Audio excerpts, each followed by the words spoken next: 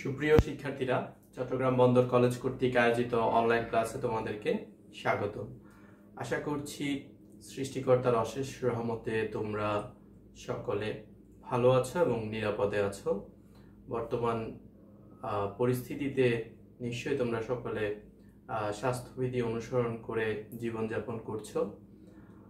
আমরা আলোচনা করছি তোমাদের হিসাব বিজ্ঞান দ্বিতীয় পত্রের। সংক্ষিপ্ত সিলেবাসের আলোকে আহ, মজুদ পণ্যের হিসাব রক্ষণ অধ্যায়টি আমরা পূর্ববর্তী ক্লাসে শেষ করেছি এবং আমরা বহু নির্বাচনী প্রশ্ন নিয়ে আলোচনা করছিলাম এবং আমি তোমাদেরকে জানিয়েছিলাম যে আজকে আমরা অংশীদারি ব্যবসায়ের উপর বহু নির্বাচনী প্রশ্ন নিয়ে আলোচনা করব এবং পর্যায়ক্রমে আমরা অংশীদারি ব্যবসায়ের পরে হচ্ছে যৌথ মূলধনী কোম্পানির মূলধন এই অধ্যায়ের বহু নির্বাচনী প্রশ্ন নিয়ে আলোচনা করব। তারপর আর্থিক অবস্থার বিবরণী, যৌথ মূলধনী কোম্পানির আর্থিক অবস্থার বিবরণীর বহু নির্বাচনী প্রশ্ন নিয়ে আলোচনা করব।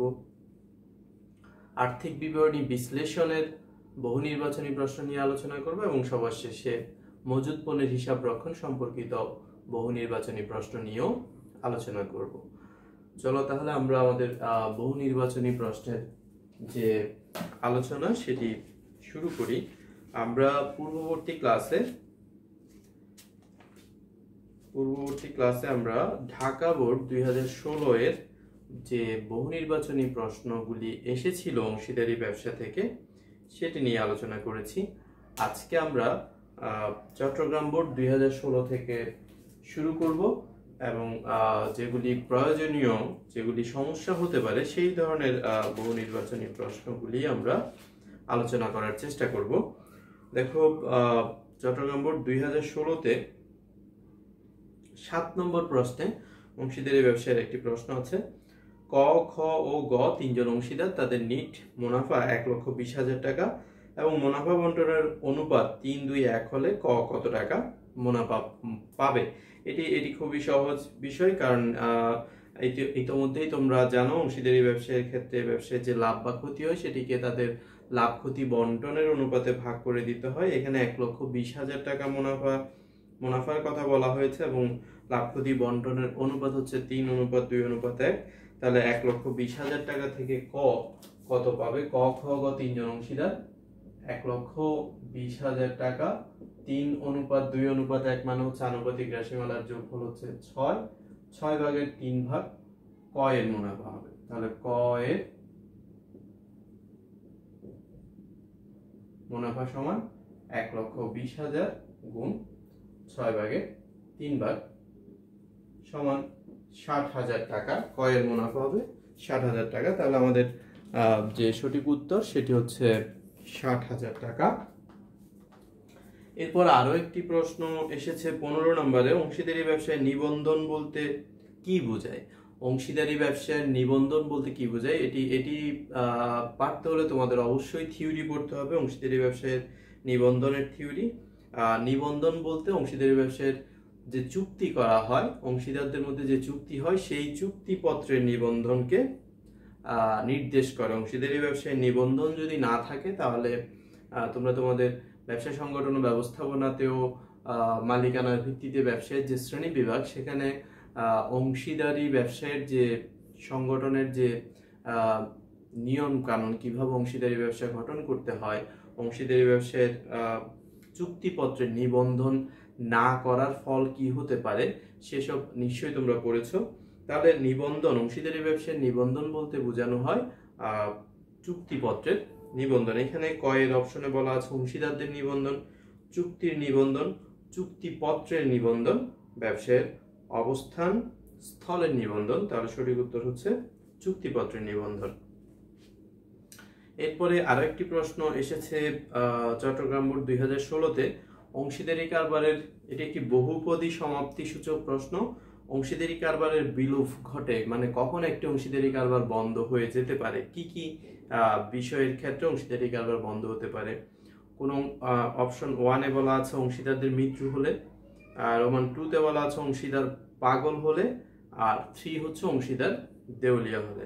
তাহলে এই সবগুলি ক্ষেত্রে কিন্তু অংশীদারি কারবারের বিলোপ ঘটে, বা অংশীদারি কারবার বন্ধ হয়ে যায়, কোনো অংশীদারের মৃত্যু হলে বন্ধ হয়ে যেতে পারে কোনো অংশীদার পাগল হলে বন্ধ হয়ে যেতে পারে, কোনো অংশীদার দেউলিয়া হলেও বন্ধ হয়ে যেতে পারে। তাহলে আমাদের সঠিক উত্তর হবে মানে এক, দুই ও তিন, গ।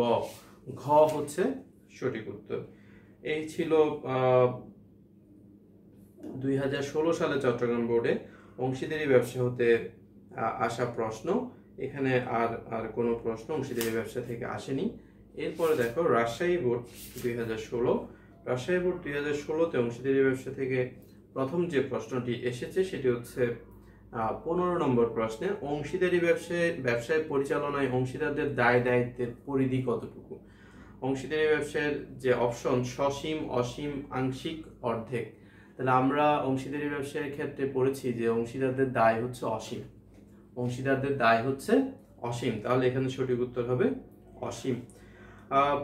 তারপরে আরেকটি প্রশ্ন আছে, মালিক প্রতি দুই মাস পর পর দুই হাজার টাকা উত্তোলন করলে বাৎসরিক উত্তোলন কত টাকা হবে? প্রতি দুই মাস পর পর দুই হাজার টাকা করে যদি উত্তোলন করে, মালিক এক বছরে ছয় বার উত্তোলন করবে। প্রতিবারে দুই হাজার টাকা করে হলে ছয় বারে মোট উত্তোলন হবে বারো হাজার টাকা। তাহলে সঠিক উত্তর হচ্ছে বারো হাজার টাকা। সতেরো নম্বরে বলা আছে, চুক্তিতে উল্লেখ না থাকলে অংশীদারি ব্যবসায় কোনো অংশীদার কর্তৃক প্রদত্ত ঋণের উপর সুদের হার কত হবে? এটি অংশীদারি ব্যবসায়ের অঙ্কে আমরা প্রায় পেয়ে থাকি যে ঋণের সুদের হার যদি উল্লেখ করা না থাকে, তাহলে আমরা সেখানে ঋণের সুদের হার ছয় পার্সেন্ট ধরে নিতে পারি। চুক্তিতে উল্লেখ না থাকলে ঋণের সুদের হার ছয় পার্সেন্ট ধরে নিতে হয়। এরপরে আরেকটি গুরুত্বপূর্ণ প্রশ্ন এখানে এসেছে, সেটি হচ্ছে অংশীদারদের মূলধন যেখানে স্থায়ী থাকে, সেখানে মূলধনের সুদ উত্তোলনের সুদ লিপিবদ্ধ করা হয় মানে কোথায় লিপিবদ্ধ করা হয়?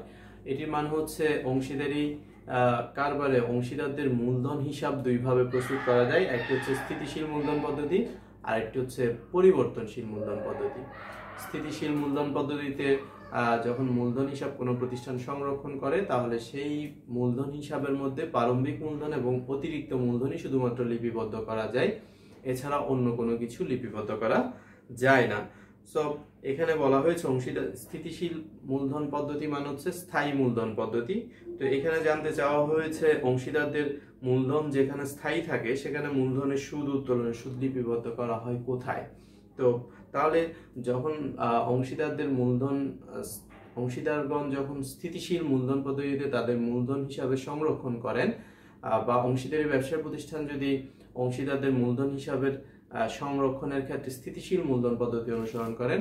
তাহলে মূলধন হিসাবে শুধুমাত্র প্রারম্ভিক মূলধন আর অতিরিক্ত মূলধন আসতে পারে। এছাড়া অংশীদারদের মূলধনের সুদ, উত্তোলনের সুদ, উত্তোলন, মুনাফার অংশ, এগুলির হিসাব রাখার জন্য তখন আরও একটি হিসাব খোলা হয়, যার নাম হচ্ছে চলতি হিসাব। সুতরাং এখানে যে প্রশ্নে জানতে চাওয়া হয়েছে, যদি স্থায়ী থাকে মূলধন, সেখানে মূলধনের সুদ উত্তোলন সুদ কোথায় লিপিবদ্ধ করা হবে? অপশন হচ্ছে উত্তোলন হিসাবে? নাকি মূলধন হিসাবে? নাকি চলতি হিসাবে নাকি বিবিধ হিসাবে? সুতরাং আমাদের সঠিক উত্তর হবে চলতি হিসাবে। যখন অংশীদারগণ মূলধন, স্থিতিশীল মূলধন পদ্ধতিতে হিসাব সংরক্ষণ করেন, তখন প্রারম্ভিক মূলধন এবং অতিরিক্ত মূলধন ছাড়া যা অংশীদারদের পাওনা থাকবে, সবকিছুই বা অংশীদারদের দাবি থাকবে ব্যবসায়ের উপর, সেই সব কিছু দেখানোর জন্য একটি চলতি হিসাব খোলা হয়। এটি এটি খুবই গুরুত্বপূর্ণ একটি বিষয়। আমাদের অনেক সময় আমরা হয়তো অঙ্ক করতে পারি, কিন্তু অংশীদারদের মূলধন হিসাব প্রস্তুত করার যে দুটি পদ্ধতি আছে, এটি আমরা অনেকে ভুলে যাই বা আমাদের মনে থাকে না। এরপর আছে বরিশাল বোর্ড। বরিশাল বোর্ডে অংশীদারি ব্যবসায়ের যে হিসাব, সেখান থেকে বরিশাল বোর্ডের অংশীদারি ব্যবসায়ের হিসাব থেকে এবার দেখো, বরিশাল বোর্ড দুই হাজার ষোলোতে অংশীদারি ব্যবসায়ের যে প্রশ্নগুলি এসেছে, তার মধ্যে একটি প্রশ্ন হচ্ছে, অংশীদারি ব্যবসায়ে অংশীদারদের লাভ বা ক্ষতির পরিমাণ জানা যায় কোন হিসাব থেকে? তো অংশীদারি ব্যবসায় অংশীদারদের লাভ বা ক্ষতির পরিমাণ জানার জন্য একটি হিসাব প্রস্তুত করা হয় বা একটি বিবরণী প্রস্তুত করা হয়, যেটিকে লাভ ক্ষতি আবন্টন হিসাব বা লাভ ক্ষতি আবন্টন বিবরণী বলা হয়। সুতরাং তাহলে আমরা লাভ ক্ষতি আবন্টন হিসাবের সাহায্যে অংশীদারি ব্যবসায় অংশীদারদের লাভ ক্ষতি জানতে পারব। আর সঠিক উত্তর হচ্ছে লাভ ক্ষতি আবন্টন হিসাবের মাধ্যমে। এরপরে জানতে চাওয়া হয়েছে আরেকটি প্রশ্নে, অংশীদারি ব্যবসায়ের ক্ষেত্রে কোনটি অব্যক্তিবাচক হিসাব? চলতি হিসাব, ঋণ হিসাব, উত্তোলন হিসাব নাকি লাভ লোকসান আবন্টন হিসাব? দেখো, চলতি হিসাব অংশীদারদের জন্য রাখা হয়, সুতরাং এটি ব্যক্তিবাচক হিসাব। ঋণ হিসাবও কোনো একজন অংশীদারের জন্য রাখা হয়। সুতরাং এটিও ব্যক্তিবাচক হিসাব, যেহেতু ব্যক্তির সাথে জড়িত। উত্তোলন হিসাবও কোনো একজন অংশীদার বা সকল অংশীদারদের জন্য রাখা হয়। তাহলে এটিও ব্যক্তিবাচক হিসাব। লাভ লোকসান বন্টন হিসাবই আছে কেবলমাত্র এখানে অব্যক্তিবাচক হিসাব। তাহলে সঠিক উত্তর হবে লাভ লোকসান বন্টন হিসাব। আরেকটি প্রশ্ন এসেছে আটত্রিশ নম্বরে, অংশীদারি ব্যবসায়ের ক্ষেত্রে চুক্তির অবর্তমানে নিচের কোনটি সঠিক নয়? এখানে কোনটি সঠিক নয়, এই কথাটা খেয়াল করতে হবে যে চুক্তির অবর্তমানে কোন কথাটি সঠিক নয়। সকল অংশীদার সমান হারে লভ্যাংশ পাবে। ক, অপশন কতে বলা আছে, সকল অংশীদার সমান হারে লভ্যাংশ পাবে। চুক্তির অবর্তমানে সকল অংশীদার সমান হারে লভ্যাংশ পাবে, এই কথাটি সঠিক নাকি সঠিক নয়? উত্তর হচ্ছে সঠিক। আমাদের কাছে জানতে চাইছে কোন কথাটি সঠিক নয়। তাহলে ক সঠিক। তাহলে ক সঠিক উত্তর হতে পারবে না, যেহেতু এই বক্তব্যের প্রেক্ষিতে যে কোনো অংশীদার ব্যবসায় যদি চুক্তিতে লেখা না থাকে, লাভ, ক্ষতি কীভাবে বন্টন করতে হয়? তাহলে সমানভাবে বন্টন করতে হয়। এর বলছে অংশীদাররা সমান হারে লভ্যাংশ পাবে। এই কথাটি কি সঠিক? অবশ্যই সঠিক। কিন্তু জানতে চাইছে এই কথাটা কি সঠিক নয়? তাহলে এটা যেহেতু সঠিক, তার মানে সঠিক নয় এই অপশনটি ক বিবেচিত হতে পারে না। খ, অংশীদারগণ মূলধনের উপর সুদ পাবে না। চুক্তিতে লেখা না থাকলে অংশীদারগণ মূলধনের উপর সুদ পাবে না। এটা সঠিক। কিন্তু আমাদের কাছে জানতে চাচ্ছে কোনটা সঠিক নয়। তাহলে এটিও সঠিক উত্তর নয়। ব্যবসা পরিচালনায় কোনো অংশীদার বেতন পাবে না। চুক্তিতে যদি লেখা না থাকে, তাহলে কোনো অংশীদার ব্যবসা পরিচালনাতে বেতন পাবে না। তাহলে এই কথাটিও চুক্তির অবর্তমানে সঠিক। আমাদের কাছে জানতে চেয়েছে জানতে চেয়েছে চুক্তির অবর্তমানে কোনটি সঠিক নয়। এরপরে লেখা আছে গ তাহলে গ সঠিক উত্তর হবে না। ঘতে বলা আছে অংশীদার কর্তৃক সরবরাহকৃত ঋণের উপর পাঁচ পার্সেন্ট সুদ পাবে। চুক্তিতে যদি লেখা না হয়, তাহলে অংশীদাররা কোনো ঋণ প্রদান করলে অংশীদারি কারবারকে, সেই ক্ষেত্রে চুক্তিতে লেখা না থাকলে অংশীদাররা ছয় পার্সেন্ট সুদ পায়। তাহলে এখানে যেহেতু বলা হয়েছে পাঁচ পার্সেন্ট হারে সুদ পাবে, তাহলে এই কথাটি সঠিক নয়। কারণ অংশীদাররা তো চুক্তিতে লেখা না থাকলে, চুক্তির অবর্তমানে ঋণ প্রদান করলে কোনো অংশীদার সেই ক্ষেত্রে ছয় পার্সেন্ট সুদ পায়। তাহলে এখানে গ হচ্ছে সঠিক নয়। এরপরে একটি উদ্দীপক আছে এখানে এক্স ওয়াই ও জেড একটি অংশীদারি ব্যবসায় তিনজন অংশীদার, তাদের মুনাফা বন্টন, বন্টনের অনুপাত তিন, দুই, এক এবং বন্টনযোগ্য মুনাফা এক লক্ষ বিশ হাজার টাকা। এক্স ওয়াই জেড তিনজন অংশীদার, তাদের মুনাফা বন্টনের অনুপাত হচ্ছে তিন, দুই, এক এবং বন্টনযোগ্য মুনাফা হচ্ছে এক লক্ষ বিশ হাজার টাকা। এক্স জেড ওয়াইকে এই মর্মে নিশ্চয়তা প্রদান করে যে ওয়াই এর লাভের অংশ পঞ্চাশ হাজার টাকার কম হবে না। এক্স এবং জেড দুইজন মিলে ওয়াই কে নিশ্চয়তা দিয়েছে ওয়াই এর লাভের অংশ পঞ্চাশ হাজার টাকার কম হবে না। তো কতে আমাদের কাছে জানতে চাচ্ছে যে এক্সের মুনাফার অংশ কত টাকা? তাহলে দেখো, এই ধরনের যদি কাউকে নিশ্চয়তা দেওয়া হয়, কোনো অংশীদার একজন অংশীদার যদি অন্য কোনো একজন অংশীদারকে নিশ্চয়তা দেয় অথবা দুইজন অংশীদার অন্য আরেকজন অংশীদারকে যদি নিশ্চয়তা দেয় কোন অংশীদারের মুনাফা কত সেটি নির্ণয় করার জন্য প্রথমে যেই অংশীদারকে নিশ্চয়তা দেওয়া হয়েছে, তার মুনাফার অংশ বের করে দেখতে হবে, তাকে যা নিশ্চয়তা দেওয়া হয়েছে সেই পরিমাণ মুনাফা বা তার চেয়ে বেশি সে পাচ্ছে কিনা নাকি কম পাচ্ছে।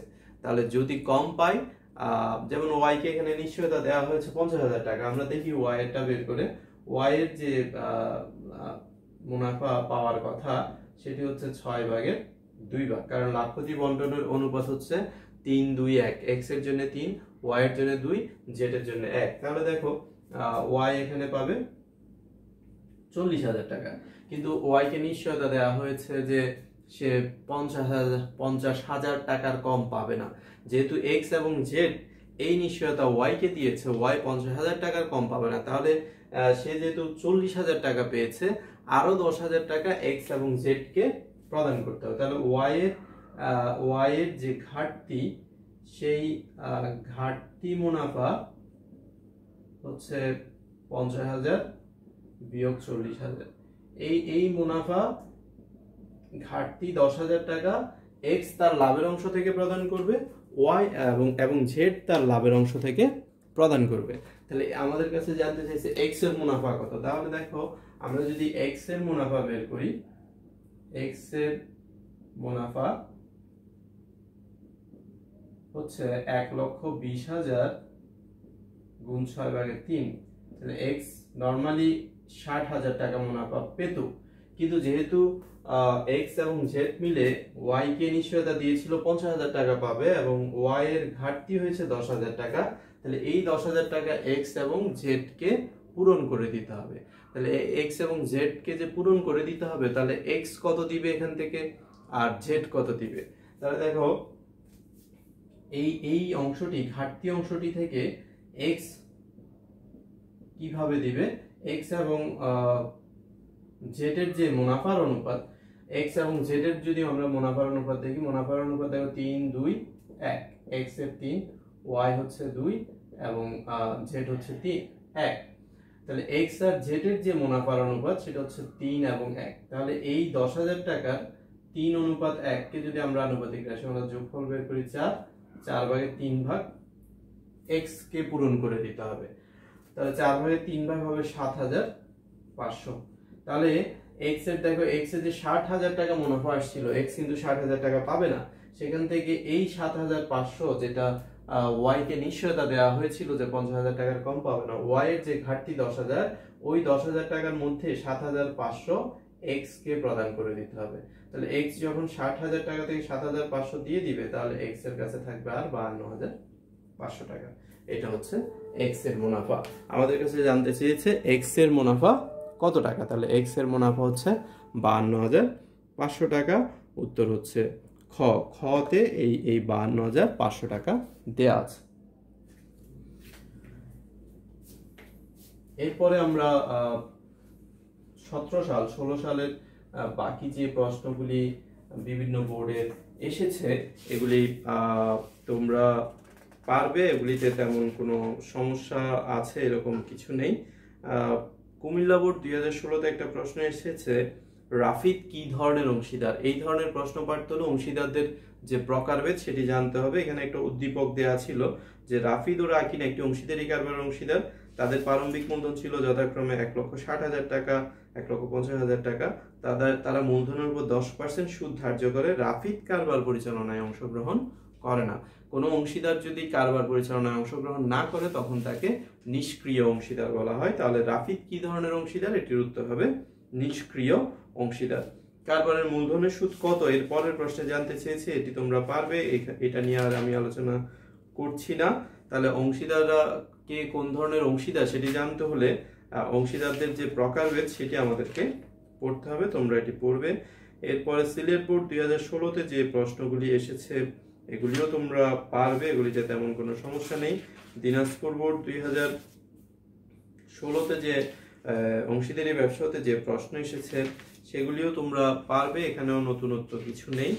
আমরা একটু দেখব যে, দেখো, দুই হাজার চট্টগ্রাম বোর্ড দুই হাজার সতেরোতে যে প্রশ্ন এসেছে, সেটা তো তেমন কোনো সমস্যা নেই। এটিও তোমরা পারবে। কুমিল্লা বোর্ড কুমিল্লা বোর্ড দুই হাজার সতেরোতে একটি প্রশ্ন এসেছে। এই প্রশ্নটি আমরা একটু দেখব। এটি হচ্ছে কুমিল্লা বোর্ড দুই হাজার সতেরো এর সাত নম্বর প্রশ্ন। এই ধরনের প্রশ্ন ইউনিভার্সিটি অ্যাডমিশন টেস্টও এসে থাকে। যেমন বলা হয়েছে আলী ও জামাল দুজন অংশীদার। তাদের মুনাফার অনুপাত দুই অনুপাত এক। আলী এবং জামাল দুইজন অংশীদার, তাদের মুনাফার অনুপাত হচ্ছে দুই অনুপাত এক। তারা বাবুকে দশ পার্সেন্ট মুনাফার বিনিময়ে নতুন অংশীদার হিসাবে গ্রহণ করবে। মুনাফার নতুন অনুপাত কত হবে? খেয়াল করো, আলী এবং জামাল, আলী এবং জামিল দুইজন অংশীদার। একজন অংশীদারের নাম হচ্ছে আলী, আরেকজন অংশীদারের নাম হচ্ছে জামিল। এবং তাদের যে লাভ ক্ষতি বন্টনের অনুপাত বর্তমানে আছে, সেটি হচ্ছে দুই অনুপাত এক। তারা বাবু নামক একজনকে নতুন অংশীদার হিসাবে গ্রহণ করবে এবং তাকে বলা হচ্ছে দশ পার্সেন্ট মালিকানা প্রদান করবে। দশ পার্সেন্ট মুনাফার বিনিময়ে নতুন অংশীদার হিসাবে গ্রহণ করে, মুনাফার নতুন অনুপাত কত? তাহলে এখন জানতে চাওয়া হচ্ছে, তাহলে একে যদি, বাবুকে যদি মুনাফার দশ পার্সেন্ট দিয়ে দেওয়া হয় তাহলে আলী জামিল এবং বাবু মিলে তাদের নতুন অনুপাত কত হবে? এই নতুন অনুপাত যদি বের করতে হয়, তখন আমাদের খেয়াল করতে হবে, দেখো। বাবুকে ফিক্সড করে দেওয়া হয়েছে যে লাভের দশ পার্সেন্ট দিয়ে দিবে। বাবুকে যদি দশ পার্সেন্ট দিয়ে দেয়, তাহলে দেখা আলী আর জামিলের জন্য কত থাকবে? বাবু একজন নতুন অংশীদার, সে নতুন আসলো, তাকে যদি তাদের অংশীদারি ব্যবসায় লাভের দশ পার্সেন্ট প্রদান করে দেওয়া হয়, তাহলে আলী আর জামালের জন্য থাকে কত? আমাদেরকে প্রথমে এটি বের করতে হবে। আলী ও জামাল লাভের অংশ কত পাবে দেখো? লাভের অংশ পাবে হান্ড্রেড পার্সেন্ট মাইনাস একশো পার্সেন্ট বিয়োগ দশ পার্সেন্ট কারণ মোট লাভ থেকে তো মোট লাভ তো আমরা একশো পার্সেন্ট বলতে পারব। মোট লাভ থেকে দশ পার্সেন্ট বাবুকে দিয়ে দিবে, তাহলে আলী আর জামালের জন্য থেকে যাবে লাভের নব্বই পার্সেন্ট আলী এবং জামালের জন্য থেকে যাবে লাভের নব্বই পার্সেন্ট এখন প্রশ্ন হচ্ছে, এই নব্বই পার্সেন্ট থেকে আলী কতটুকু পাবে? জামাল কতটুকু পাবে? এই নব্বই পার্সেন্ট লাভ যেটা থাকবে, তার তার কতটুকু আলী পাবে আর কতটুকু জামাল পাবে? তাহলে দেখো, আলী পাবে আলী পাবে, এই নব্বই পার্সেন্ট এর দেখো তাদের যে অনুপাত, আলী আর জামাল, তাদের যে আগে অনুপাত ছিল, সেই অনুপাতে তারা ভাগ করে নিবে তিন ভাগের দুই ভাগ।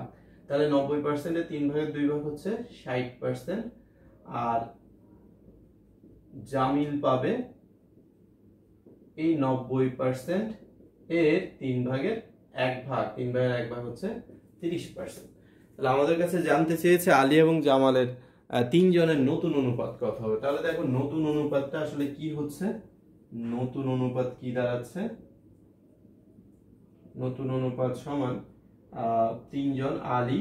আলীর থাকতেছে আলী পাচ্ছে ষাট পার্সেন্ট জামাল পাচ্ছে, জামিল পাচ্ছে তিরিশ পার্সেন্ট এবং বাবু যে আসবে তাকে দিচ্ছি আমরা দশ পার্সেন্ট তো এটাকে যদি আমরা ছোট করে নেই অনুপাত হবে ছয় অনুপাত। তিন অনুপাত এক। এটি হচ্ছে তাদের নতুন অনুপাত। এই ধরনের প্রশ্ন সচরাচর অত বেশি হয় না, কিন্তু এই ধরনের প্রশ্নগুলি তোমাদের জানা থাকলে সুবিধা, কারণ এই ধরনের প্রশ্ন শুধু যে বোর্ড পরীক্ষায় হতে পারে তা নয়, এটি আমাদের, তোমরা যখন ইউনিভার্সিটি অ্যাডমিশন টেস্টে যাবা, সেখানেও এই ধরনের প্রশ্ন হতে পারে। এরপরে এসেছে চুক্তির অবর্তমান অংশীদারদের ঋণের সুদের হার, এটা আমরা জানি, ছয় পার্সেন্ট অংশীদারটি অংশীদারের চলতি হিসাবের ক্রেডিট উদ্বৃত্ত হলো, অংশীদারদের চলতি হিসাবের ক্রেডিট উদ্বৃত্ত মান হচ্ছে দায়। অংশীদারদের চলতি হিসাবের ক্রেডিট উদ্বৃত্ত দায় প্রকাশ করে সুতরাং এটি হচ্ছে উত্তর হবে দায়। এরপরে সিলেট বোর্ড দুই হাজার সতেরোতে একটি প্রশ্ন এসেছে এরকম যে, প্রতি তিন মাস অন্তর অন্তর প্রতি তিন মাস অন্তর সমপরিমাণ উত্তোলন করা হলে অংশীদারি ফার্মের উত্তোলনের উপর সুদ নির্ণয়ের সঠিক সূত্র কোনটি হবে? তিন মাস পর পর যদি কোনো অংশীদার উত্তোলন করে, সেক্ষেত্রে উত্তোলনের সুদের হার নির্ণয়ের সঠিক সূত্র কোনটি হবে? তাহলে আমাদের ক্ষেত্রে এরকম ক্ষেত্রে সূত্র হচ্ছে, আমি তোমাদেরকে উত্তোলন সুদের জন্য সাতটি সূত্র লিখে দিয়েছি। এখানে সূত্রটি হবে ত্রৈমাসিক উত্তোলন গুণ সুদের হার গুণ এক দশমিক পাঁচ। ত্রৈমাসিক উত্তোলন গুণ সুদের হার গুণ এক দশমিক পাঁচ অথবা গুণ তিন ভাগ দুই এভাবেও তোমরা, আমরা দিতে পারি। তাহলে এখানে সঠিক উত্তর হচ্ছে ঘ। এই হচ্ছে অংশীদারি ব্যবসা রিলেটেড প্রশ্ন। আমরা যে গাণিতিক সমস্যা তোমাদেরকে সমাধান করিয়েছি, সেই গাণিতিক সমস্যাতে আমি তোমাদেরকে মাত্র পাঁচটি, ছয়টি অঙ্ক করিয়েছি। ওই ছয়টি অঙ্ক যদি তোমরা পারো, সেই ছয়টি অঙ্কের কনসেপ্ট যদি তোমরা ভালো করে ধারণ করতে পারো, অংশীদারি ব্যবসায় যে কোনো গাণিতিক সমস্যা সমাধান করতে পারবে। একই সাথে থিওরি এবং এই বহু নির্বাচনী প্রশ্নগুলি যেগুলি আমরা আলোচনা করলাম, এগুলিও যদি তোমরা বাসায় ভালো করে অনুশীলন করো, বহু নির্বাচনী প্রশ্ন নিয়েও এই অধ্যায় থেকে কোনো সমস্যা হবে না। তাহলে অংশীদারি ব্যবসায়ের যেটুকু গাণিতিক সমস্যা এখানে সমাধান করা হয়েছে তোমাদের পূর্বের যে ক্লাসগুলি আছে, তোমরা যদি ওই ছয়টি প্রশ্ন ভালো করে সমাধান করো, পরীক্ষায় এর বাইরে কোনো কিছু আসার কোনো সুযোগ নেই। যদি ওই ছয়টি প্রশ্ন ভালো করে পারো, তাহলে তোমাদের এই অধ্যায়ের গাণিতিক সমস্যার সমাধান হয়ে যাবে মানে সৃজনশীল প্রশ্নের সমাধান হবে। বহু নির্বাচনী প্রশ্ন নিয়ে পূর্ববর্তী ক্লাসও আলোচনা করেছি, আজকেও আমরা আলোচনা করলাম এই ধরনের যেগুলি ঝামেলা হতে পারে, সেগুলি নিয়ে। তোমরা বাসায় অনুশীলন করবে, কোথাও কোনো সমস্যা থাকলে আমার সাথে যোগাযোগ করবে, আমি তোমাদের সমস্যা সমাধান করে দেওয়ার চেষ্টা করব ইনশাল্লাহ আজকের ক্লাস আমরা এখানে শেষ করছি। আগামী ক্লাসে আমরা যৌথ মূলধনী কোম্পানির মূলধন অধ্যায়ের বহু নির্বাচনী প্রশ্ন নিয়ে আলোচনা করব। তোমাদের যদি কোনো প্রশ্ন থাকে বা তোমাদের যদি তোমরা যদি আগে থেকে একটু দেখে নাও কোনো সমস্যা থাকে সেটি আমাকে জানালে তখন তোমাদের ওই সমস্যাগুলো নিয়ে আলোচনা করতে সুবিধা হবে এবং এতে করে তোমরা উপকৃত হবে। আজকের ক্লাস আমরা এখানে শেষ করছি। তোমরা সকলে ভালো থাকবে, সুস্থ থাকবে, এই প্রত্যাশা রেখে আল্লাহ হাফেজ।